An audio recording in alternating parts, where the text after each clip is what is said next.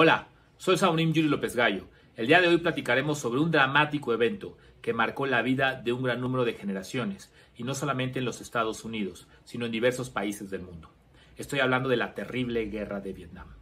Terrible guerra que, sin embargo, se convirtió en el mejor marco para que el taekwondo demostrara ante el mundo las grandes capacidades de su práctica. Acompáñame.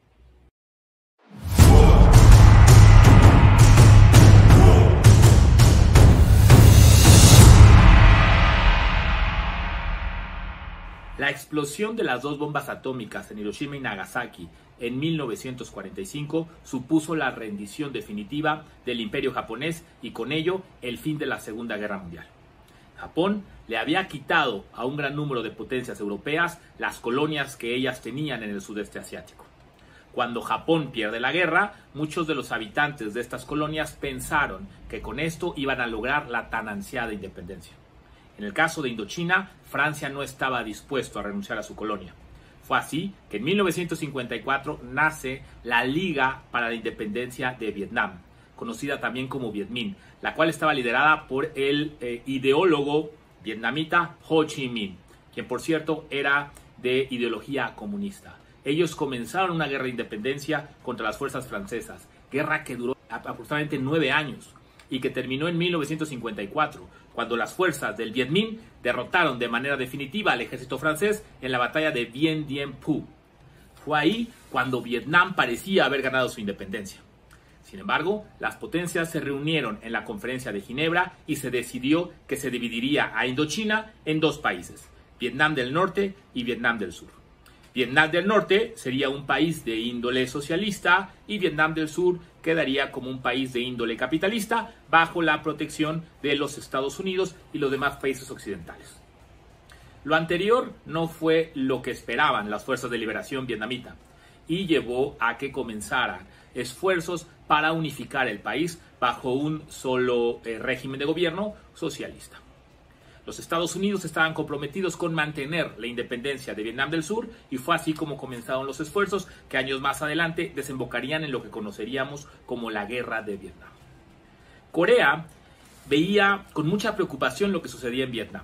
Se reflejaban, ellos reflejaban su situación, la situación que ellos estaban viviendo la reflejaban en Vietnam y eso generaba que hubiera en ellos grandes preocupaciones. Primero, porque ellos pensaban que si Vietnam del Norte, los comunistas, lograban absorber y derrotar a Vietnam del Sur, sería un aliciente para que los coreanos del norte pudieran intentar nuevamente invadirlos. Fue por eso que en 1954 el presidente Sigmund Rhee ofreció fuerzas eh, coreanas para ayudar a Vietnam del Sur a mantener su independencia. Había eh, varias razones, además de la obvia, del obvio reflejo de la situación de Vietnam en Corea. El odio que tenían los coreanos hacia el comunismo era muy fuerte, pero además los coreanos sentían la necesidad de retribuirle a los Estados Unidos el apoyo que habían recibido durante la guerra de Corea. Fue así como comenzó a gestarse una negociación que culminaría 10 años después, hasta 1964, cuando los Estados Unidos y Corea firmarían algunos convenios para que se diera la entrada del ejército de la República de Corea en el conflicto armado en Vietnam. Los estadounidenses se comprometieron a varias cosas. La primera era que Estados Unidos se vaya, prometía mantener el mismo número de soldados americanos en Corea y no disminuiría el número de efectivos americanos en Corea para así asegurarse que los coreanos del norte no intentaran una reconquista. Además, Estados Unidos se comprometía a financiar y asesorar en la modernización del ejército de Corea. Además, serían los americanos quienes financiarían todo el gasto en que incurrieran las fuerzas de Corea en su estadía en Vietnam. Todos los gastos, incluyendo los sueldos de los soldados coreanos, corrían por parte de los norteamericanos. Además, Estados Unidos se comprometía a aumentar los apoyos económicos para el desarrollo de la industria de Corea del Sur y su economía en general. Fue así como en 1954 llega a Vietnam la famosa Dove Division o División Paloma, la cual era un pequeño grupo compuesto por solamente 150 militares coreanos. Pero es importante destacar algo. Los miembros de la Dove Division no eran soldados que fueran a entrar al combate. eran asesores, ingenieros, médicos y también un grupo de entrenadores o instructores de taekwondo. Fue hasta un año después, en 1955, cuando llegaron los primeros contingentes de combatientes coreanos a Vietnam.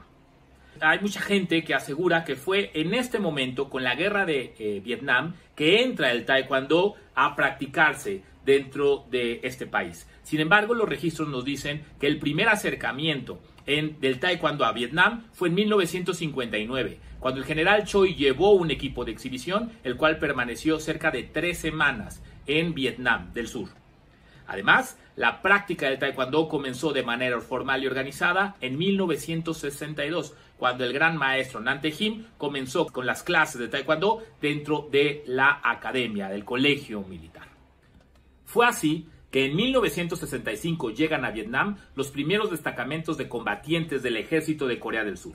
La División de Infantería Mecanizada Capital, mejor conocida como The Tiger Division, la División Tigre. Además, llegó la Segunda División de Marines, conocida como The Blue Dragon Division, la División de los Dragones Azules. Y un año después, llegó el destacamento más grande del ejército de Corea del Sur a pelear en la guerra de Vietnam, The White Horse Division, la división del caballo blanco.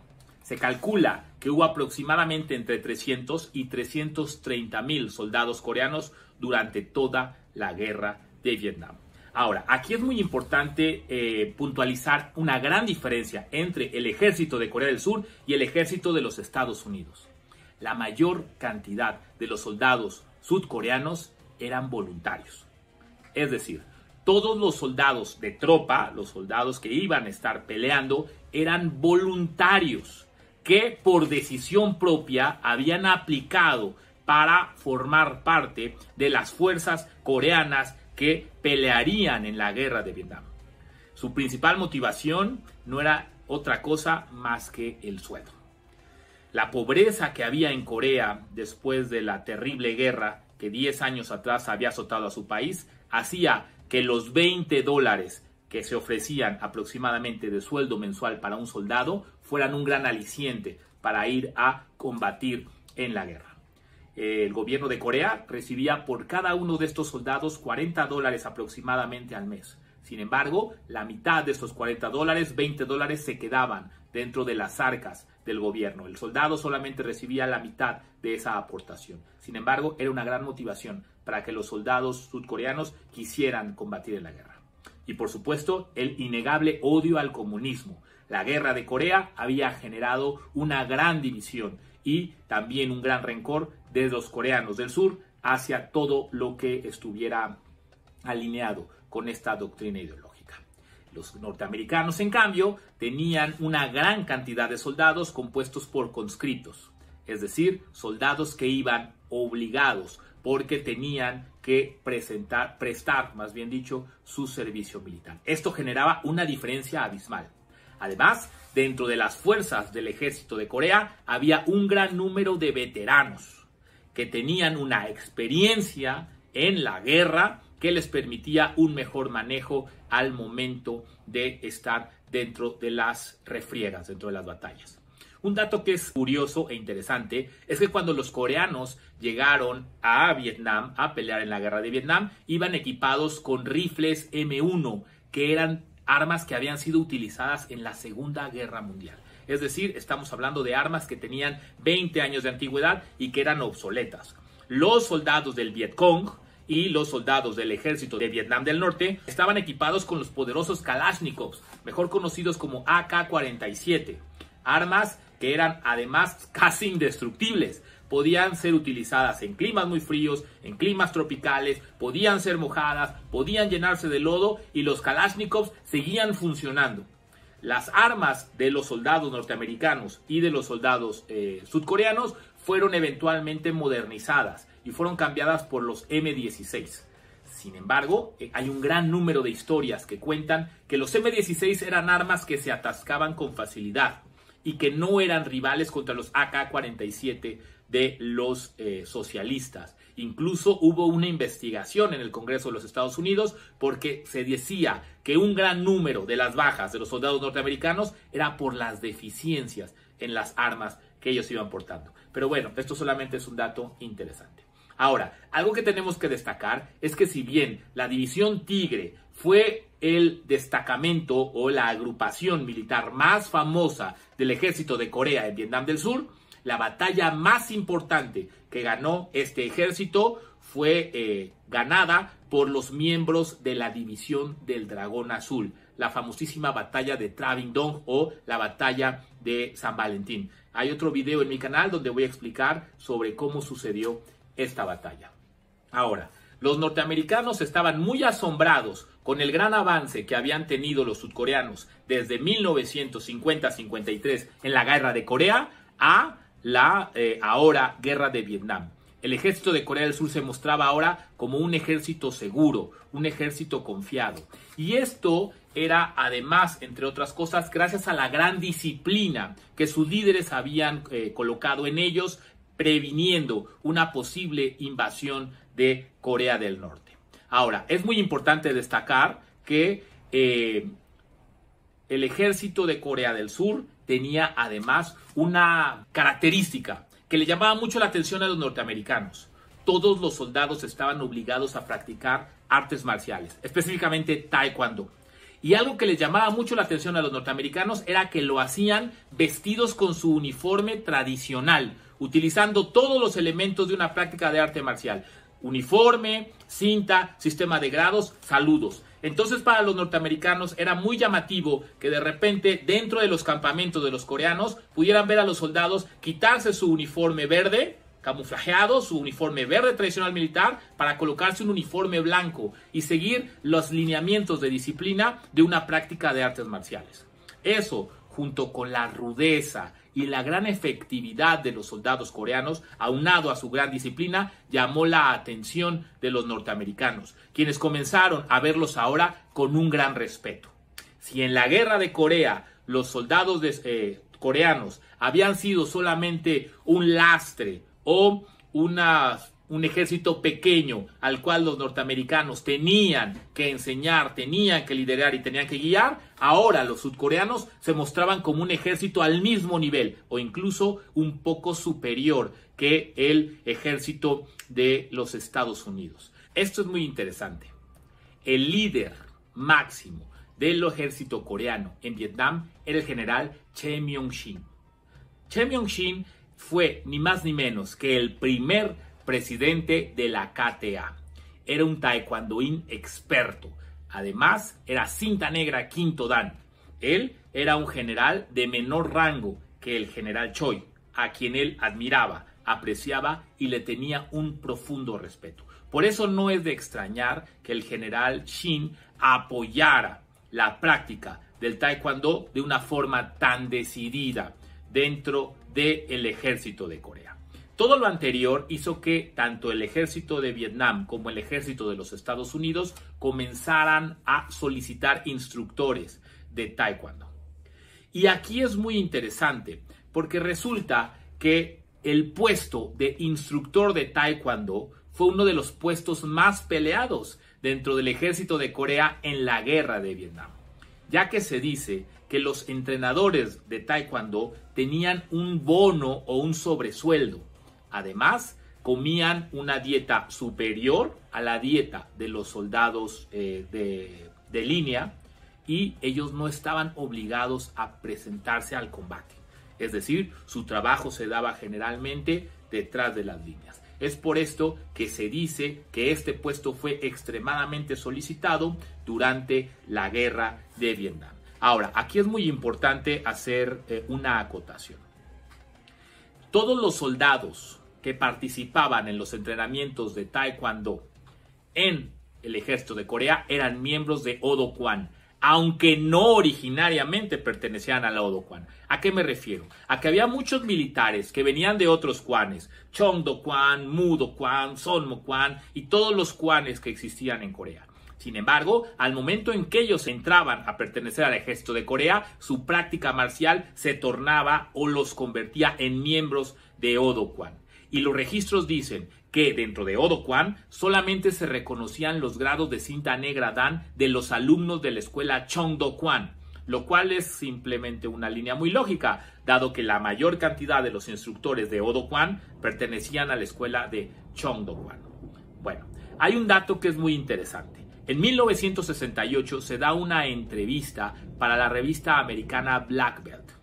Esta entrevista va a ser un parteaguas en la difusión del taekwondo y de las artes marciales coreanas en Estados Unidos y en Occidente ya que esta entrevista comienza con el relato de un soldado americano que cuenta que se encontraba junto con su pelotón en una caminata de reconocimiento cuando vio que su sargento de pronto subía el puño, se hincaba y sonreía. Esto significaba que tendrían un poco de acción. De repente, los soldados americanos se acercaron y después de escuchar unos gritos sordos, se dieron cuenta que en donde ellos acababan de llegar había un agrupamiento de soldados del ejército de Corea del Sur y que detrás de ellos, o más bien dicho, en el suelo, se encontraban una gran cantidad de soldados del Vietcong. Las palabras del soldado norteamericano fueron, no escuchamos un solo tiro y nunca había visto más quijadas y costillas sumidas que en ese momento. Los coreanos habían hecho todo el trabajo sin disparar un solo disparo, todo gracias a las fuerzas de sus puños y de sus patadas. En esa entrevista, el capitán Jong Dong-ho, el jefe de instructores de toda la división Tigre, explicó que el arte marcial del Taekwondo les permitía a ellos obtener la fiereza de la figura que representaban, el tigre. E incluso dijo que cuando sus fuerzas se encontraban con un búnker enemigo, al no contar con armamento pesado, no podían destruirlo a la distancia, por lo que los soldados coreanos tenían que entrar al búnker y derrotar a los soldados con sus propias manos. En palabras de este instructor, los soldados vietnamitas no tenían oportunidad contra las técnicas de taekwondo de los soldados coreanos. Y es aquí donde tenemos que hacer una pausa. Eh, tradicionalmente las fuerzas de los Estados Unidos basaban su poder en su artillería y en su fuerza aérea, por lo que cada vez que había un enfrentamiento con las fuerzas vietnamitas, lo que los norteamericanos buscaban era tener una distancia suficientemente larga para que la artillería y la aviación acabaran con sus enemigos. Es por esto que los vietnamitas tenían la instrucción de llevar la batalla lo más cerca posible de los americanos eh, eh, para poder estar inhabilitando tanto a su fuerza aérea como a su artillería. Es decir, los vietnamitas buscaban pelear cerca de los estadounidenses. Sin embargo, esto no sucedía cuando los vietnamitas se encontraban con los coreanos ya que la fiereza que demostraban los coreanos en los combates a corta distancia hacía que los vietnamitas tuvieran siempre las de perder. La efectividad de los coreanos era muchísimo mayor que la efectividad de los soldados norteamericanos. Durante esta guerra, el secretario de guerra de los Estados Unidos, Robert McNamara, que era un administrador, creó un eh, sistema para poder saber si iban o no ganando la guerra. Básicamente este sistema consistía en contabilizar los muertos, los posibles muertos de los enemigos y compararlos con los suyos. Fue así que los norteamericanos se dedicaban a contar a los posibles y a las bajas de los enemigos para poder generar estos datos que les permitieran a los eh, políticos en Washington tener una idea de quién iba ganando la guerra. La tasa de efectividad del ejército de los Estados Unidos era de 9 a 1 es decir, por cada nueve soldados vietnamitas muertos, los estadounidenses perdían a un soldado. La tasa de efectividad del ejército de Corea del Sur era de 24 a 1. Por cada 24 vietnamitas muertos, solamente un coreano resultaba eh, asesinado. Es decir, su efectividad era mayor. Ahora, ¿qué sucede? Que en la guerra de Vietnam comenzó a decirse un dicho. Se decía que los soldados se preguntaban, oye, ¿por qué la selva habla en vietnamita? Y entonces alguien contestaba, no lo sé, solo sé que el agua habla en coreano. Eso se refiere a que los vietnamitas utilizaban la selva para camuflarse y eh, emboscar a los norteamericanos. Y hace alusión a que los coreanos, de acuerdo a los dichos de sus colegas estadounidenses, eran capaces de permanecer toda la noche sin moverse dentro del agua, esperando a sus enemigos. Si bien las fuerzas de Corea del Sur fueron extremadamente efectivas en la guerra de Vietnam, tampoco podemos negar un hecho que es tristemente célebre. Los coreanos fueron acusados por una gran cantidad de crímenes de guerra, actos de lesa humanidad donde se violaron los derechos civiles, no solo de los militares, no solo de los combatientes y de los guerrilleros, sino de poblaciones extremas. La guerra al final sacará siempre lo peor de las personas. Con la retirada de los Estados Unidos de Vietnam en 1973, las fuerzas del ejército de Corea del Sur abandonaron de manera definitiva el país de Vietnam. Fue así como el taekwondo se convirtió en el último arte marcial tradicional en ser probado en un campo de batalla de manera efectiva. La guerra de Vietnam fue pues el marco que demostró al mundo la efectividad de las técnicas del arte marcial coreano en el campo de batalla. Soy Saunim Yuri López Gallo, la voz del arte marcial. Espero que este video haya sido de tu agrado. Si es así, no olvides suscribirte a nuestro canal y darle clic en la campanita para que cada vez que publiquemos un video te llegue una notificación. Síguenos en Facebook, en Spotify y también en Google Podcast. Me encuentras así, Saunim Yuri López Gallo, la voz del arte marcial. Muchas gracias por tu tiempo. Nos vemos en la que sigue.